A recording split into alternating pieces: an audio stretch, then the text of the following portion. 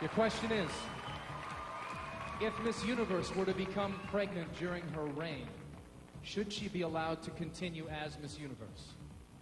Personally, I think Miss Universe is a symbol of a woman as well. She's celebrating her femininity. And I believe that, thank you. And I believe that if she should fall pregnant, it will not in any way interrupt her duties.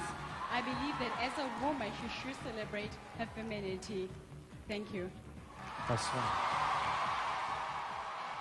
The crowd loves this girl. Listen to the crowd, and there you have it. You know, if it goes on the question alone, this girl's got it. Right, but there are other things that are involved. Yes. But man, she told it like it was. She- Exactly. She, was very and honest and direct. You know, the judges will consider all questions of the competition.